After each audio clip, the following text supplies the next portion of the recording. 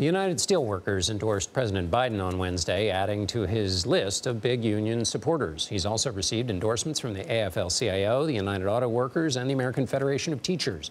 But he has yet to receive the endorsement of the Teamsters. It's one of the largest unions in the country, representing over a million workers in a range of industries, including UPS drivers, film workers, and law enforcement officers. Both Biden and Donald Trump have met with the Teamsters president in recent weeks. We wanted to dig deeper into the top concerns of American workers, so we interviewed policy experts to learn about the top issues for labor. First, they told us labor cares about whether candidates support raising the minimum wage, which has stagnated for 15 years. Second, a top question is how the next president thinks about using tariffs to protect American workers from having their jobs offshored. Third, would the candidates raise the corporate tax rate? Which was reduced to a top rate of 21% from 35% in 2017. If corporations aren't paying their fair share, labor organizers argue the tax burden falls to workers. Fourth, how would the next president ensure that the economy we're moving towards, one powered by green energy and AI, will also be one with a lot of well paid union jobs? And last, will the next president protect a worker's right to organize by pushing Congress to pass an act like the PRO Act? Designed to protect workers from being fired for union activity. To talk through this long list, we turn to Justin Wolfers. He's a professor of public policy and economics at the University of Michigan. Thank you so much for being with us. It's a long list, Justin, but let's start with the PRO Act. Explain to people what that is and, and why it's Im important uh, and where the two candidates may fall on that.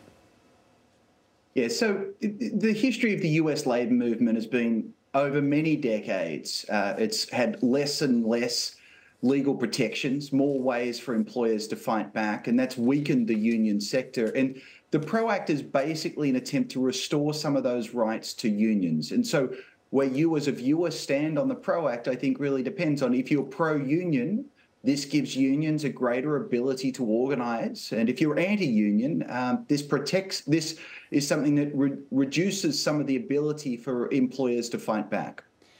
In terms of the trade, we heard a lot with with the auto strike about concerns about moving to electric vehicles and, and how they might be produced with fewer workers and there would be fewer protections for unions. How should we think, how should voters think about the movement into renewables, green energy, and what that may or may not do to the union jobs? Well, the movement towards electric cars, I think, is both inevitable and exciting, but it's also deeply threatening for some workers. Uh, one of the things is it takes fewer workers to make an electric car. That's going to worry the unions.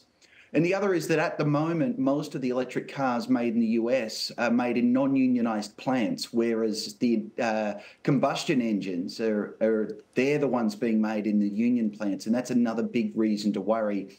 So, a big part of the negotiations were trying to protect uh, the possibility of union jobs in the new electric vehicle sector. And I think that's where President Biden stands. President Trump just hates electric vehicles. Um, so it's a different way of protecting union jobs. If we don't have electric vehicles, in the short run, we'll keep the union jobs. I think in the long run, the problem is electric vehicles are inevitable. And if we don't make them here, uh, we'll lose union jobs to foreign workers making those electric vehicles. We talked, tariffs is on that list. Justin, uh, help us understand the balance between tariffs and the cost of goods that people tell us everywhere we turn are important to them. Yeah, it's a funny thing. Tariffs are very appealing to a lot of people, and particularly to Labor. They're also they go by another name, taxes, and so the government would be taxing goods that you and I buy, just those goods that we buy from overseas. And it turns out that for every extra dollar we tax a Chinese good, you and I pay roughly an extra dollar more in consumer prices. And so it's not that the Chinese are paying, it's that you and I are paying. And finally, Justin, the minimum wage. Why is that important to unions? Because don't they have, they have contracts with wages that deal with their jobs? Why is the minimum wage important to union workers?